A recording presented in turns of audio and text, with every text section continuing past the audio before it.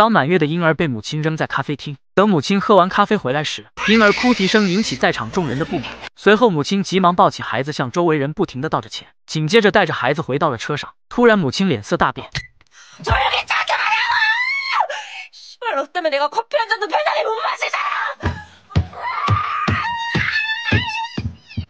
看着母亲疯癫的样子，不知是听懂还是害怕孩子也停止了哭闹，岂料更可怕的还在后面。回家后，怒气未消的母亲直接将孩子扔到了沙发上。父亲听声走出，劝阻妻子不要生气，一副慈祥的走到孩子面前。本以为父亲是一位体贴妻子、爱护孩子的好男人，结果下一秒，유통기한사개월이나지났는데괜찮아안죽어하긴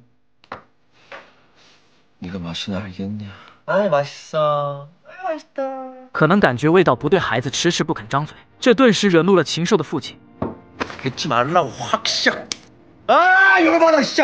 突然，警察前来拜访。父亲先是擦掉孩子嘴边过期的食物，母亲则喷上空气清新剂掩盖屋子内的味道，随后急忙收起桌子上妻子的香烟。警方告知接到医院举报这里有虐童行为，所以请来一位儿少保护专家前来检查。아동학대 요？ 신고라고요 아이가다니는병원에서아이몸에폭행흔적이있다고신고를해서요 네？ 잠시좀들어가겠습니다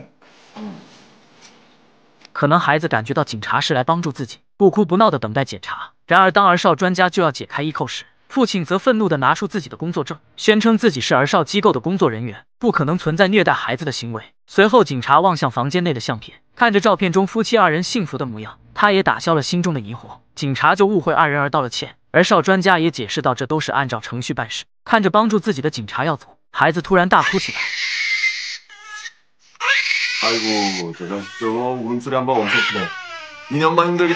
幼小的他本以为能用这一招挽留住警察，岂料却激起了父母的怒火。狠毒的母亲直径的冲过来抱起了孩子。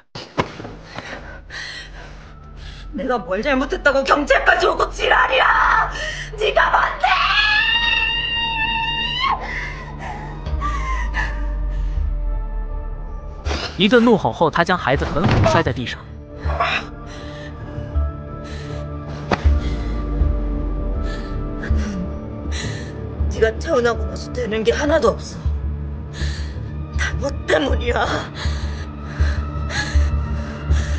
不解气的他拿起抱枕捂住孩子的头部，就这样一条鲜活的生命结束。剧中父母的行为令人毛骨悚然。然而更可怕的是，这部影片。是根据二零二一年真实事件改编。一名十六个月大的孩子在养父母的虐待下不治身亡。最令人发指的是，之所以领养这个孩子，只不过是为了当网红博取流量，从而获得金钱。当金钱远远满足不了的那一刻，丧心病狂的养父母全然将怒气撒在孩子的身上。就在小郑人临死的前一天，老师的拥抱成了他此生最后的温暖。当孩子失去意识送进医院的那一刻，身上大大小小的伤让医生为之震惊。检查发现身上十多处骨折，甚至连颅骨都没能幸免。然而，导致证人真正死亡的原因，正是腹部被高达三千六百千克重力压制而内脏破裂。显然易见，小证人生前遭受了惨无人道的伤害。而这个结果，在小证人养父口中确认，正是妻子在小证人腹部上反复的高空蹦跳。